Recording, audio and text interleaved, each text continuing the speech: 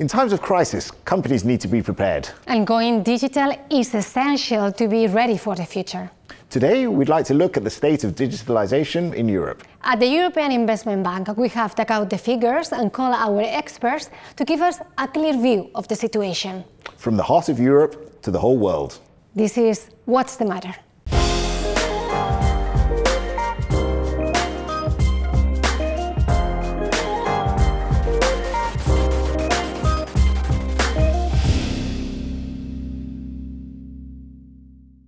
What is the state of digitalization in Europe today?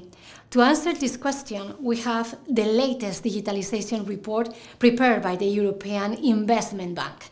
The report analyzes how businesses have succeeded or failed to use digital technology to respond to one of the biggest challenges the world has faced in decades COVID 19. We surveyed intensively, gathering the views of 12,000 businesses in Europe and 800 in the United States. This is the main takeaway. 46%, almost half of the European firms, took action to become more digital, promoting things like remote services, teleworking, and online meetings. So, good news the pandemic sped up the pace of digital transformation in Europe, though not as much as it did in the United States. However, digitalization goes well beyond video conferencing or food delivery services. It is about using advanced digital technologies such as 3D printing, robotics, big data, drones, the Internet of Things. And when it comes to this, we have a problem. The number of European firms investing in these technologies has dropped from 63% in 2020 to 61 in 2021, with the United States again in the lead. In fact, one out of four European firms made no investment at all in digital transformation in 2021. And that is something to worry about. Those are the facts. To learn more about this, David is with the expert who has all the answers. Go ahead, David. Thanks, Mercedes. Now that we've presented the facts, let's have a look at the problem, possible solutions, and draw conclusions. For this, we have the author of the EIB's 2021 Digitalization Report, Desiree Rückert. Thanks for joining us. Thank you, David. Desiree, is it fair to say that in 2021, companies were faced with a do or die scenario? Either they adapted to COVID 19 by investing more in digital transformation, or they struggled. I think it's fair to say that the pandemic definitely led to an acceleration of digitalization. A lot of companies reported that they became more digital during the pandemic. Um, and beforehand, it was mostly the most modern and innovative companies that were using advanced digital technologies. But we do observe as well that small firms were much less likely to become more digital during COVID 19 than the larger ones. And besides the size of the company, did you notice any regional differences in terms of investment in digitalization? So, yes, if you look at the European map, we do observe uh, huge differences. So, um, I think broadly speaking, firms in Northern and Western Europe are more likely to tell us that they became more digital than companies in the south of Europe. And they are a bit more likely to tell us that they, they did something than firms in Central and Eastern Europe. And have any countries surprised you with their performance? Yes, I mean, even if you compare these broad regions, not all countries are alike. So, um, Greece, for example, is a candidate that really, really did well, and there's a lot of companies that reported that they become more digital during the crisis. And digitalization is, is, is more than just home deliveries and virtual meetings. Uh, digitalization is much more, right? Yes, yes, and we are very lucky. So, with the EIB investment survey, we already capture for more than three years whether companies adapted these very advanced digital technologies like 3D printing or advanced robotics. And we see that somehow was put on hold. So there were not more companies in 2020 that adopted those technologies than in the years before. So it seems like the advanced things got a bit on hold in comparison to, to the more basic digitalization things. And as well, if you compare the EU to the US, we see that this gap didn't close. To the contrary, there's a lot of US companies that used the pandemic to accelerate digitalization. And as well, if it comes to innovation, the US is ahead of Europe. It's a perfect time to take a look at the world to take a step back and look at the developing world. Did you know that 2.9 billion people don't even have access to the internet? Fiber optics, broadband, 5G. High speed digital connectivity is at the heart of the 21st century, yet not everyone enjoys the benefits. 37% of the world's population, 2.9 billion people, have never used the internet, and almost all of them live in lower income countries.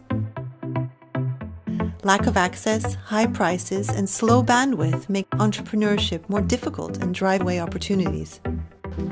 My internet before I was using 2G and uh, it was very very slow. When I want to study it becomes difficult. When I want to do my research, when I want to do my online work, it becomes a little bit difficult for me. In this neighborhood of Nairobi, a new and affordable internet connection service supported by the European Investment Bank is turning things around. Without good internet, I couldn't be able to generate the income that I'm now generating and also I couldn't be able to have a job. In Georgia, we are expanding broadband connections to rural communities 500 kilometers of fiber optics to reach 1,000 towns and 500,000 people. Amirian won't miss a tune anymore.